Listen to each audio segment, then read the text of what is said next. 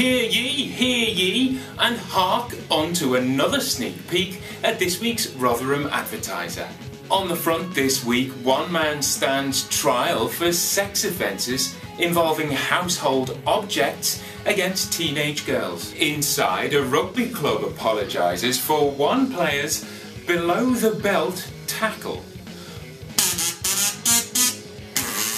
And we meet the local born burger flipper who went on to become UK Vice President of McDonald's.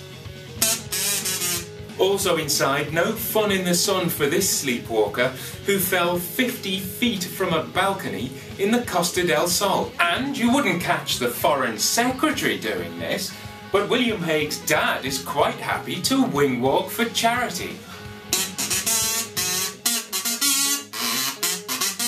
This week's My Rotherham is all about volunteers, the estimated 50,000 people who give their time to keep the town ticking over. Keep telling us why you think Rotherham is great. Get in touch on Twitter using the hashtag MyRotherham. Thank you once again for watching this sneak peek, and until next time, that's all, folks.